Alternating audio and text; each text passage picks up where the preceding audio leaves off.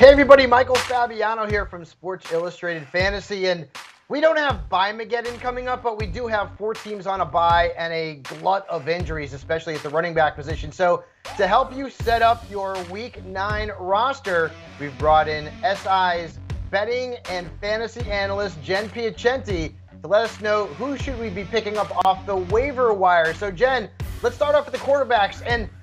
Are we really picking up Mike White? Is this where we're at right now?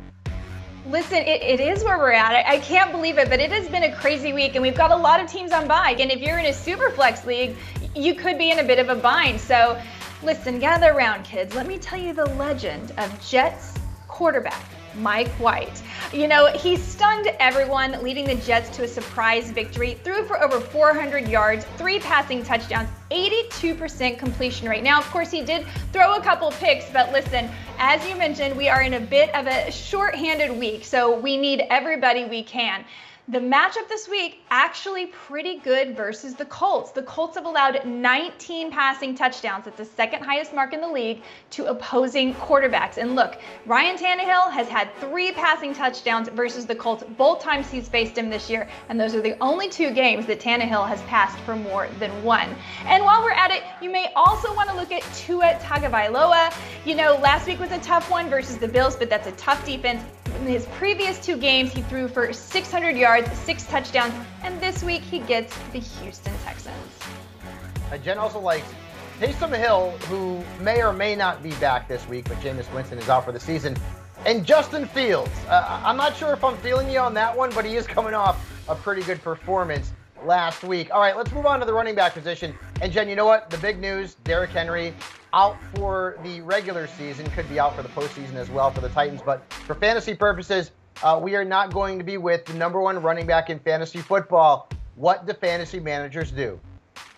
Okay, listen, you're in a bind. Uh, Derrick Henry has probably led you to the lead in your league. You're, you're in a situation, and so what you're going to have to do is something you really don't want to do, and that's pry open your wallet with your FAAB and put some bids on some players that don't seem that exciting.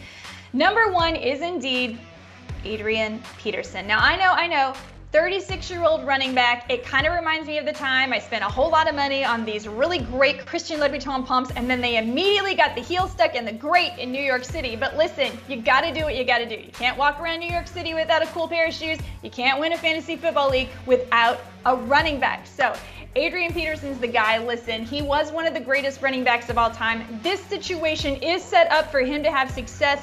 Good O line. They want to run the ball. It's worth a shot if you want to win your league. I don't know who else you're going to be able to grab that has the potential I did say potential to have this much production. Now, you also want to look at Jeremy McNichols. Now, we mentioned him in the video a few weeks ago. He is going to remain active in the passing game. Remember, in week four, he was the leading receiver for the Titans. He saw 12 targets versus the Jets. So, Jeremy, Jeremy McNichols will also see an uptick in usage. He's also worth a fair amount of your FAAB this week. And Jen also likes Boston Scott, uh, who looked pretty good last week. Jordan Howard, notice how we didn't mention Kenneth Gainwell? Yeah, that was not good. Ty Johnson of the Jets and Carlos Hyde, who could be in a starting role if James Robinson is out for the Jaguars this week. Let's move on to the wide receivers where uh, DeVante Parker made a very nice return from injury, putting up a great stat line, and he's got a really good matchup this week. Yeah, I mean, the facts are the facts. DeVante Parker is a fantastic wide receiver. It's just that he's always injured. But listen, you might benefit because somebody probably got frustrated and dropped DeVante Parker. He's available in 65% of leagues. He caught eight of his 11 targets for 85 yards versus a tough Bills defense. And as I mentioned before, this week they face Houston.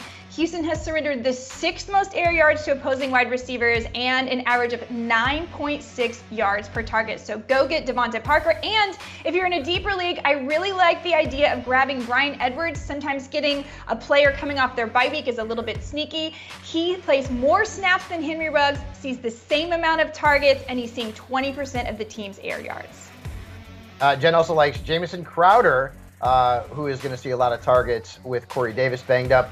Van Jefferson and Jamal Agnew, who I tweeted about last week and said sneaky waiver claim. Jamal Agnew, believe it or not, folks, he right now has been the best wide receiver in Jacksonville. Uh, yeah, Marvin Jones, Laviska Shenault, not good. All right, let's move on to the tight end position where Tyler Conklin's got a great matchup against the Ravens.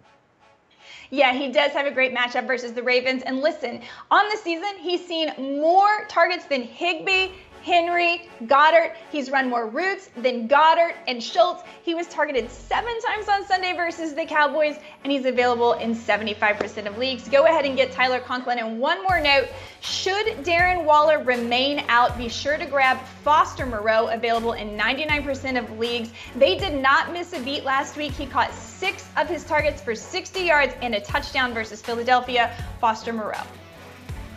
Great stuff as always, Jen. And of course, uh, for all of Jen's waiver wire adds, you can check out her column, si.com slash fantasy.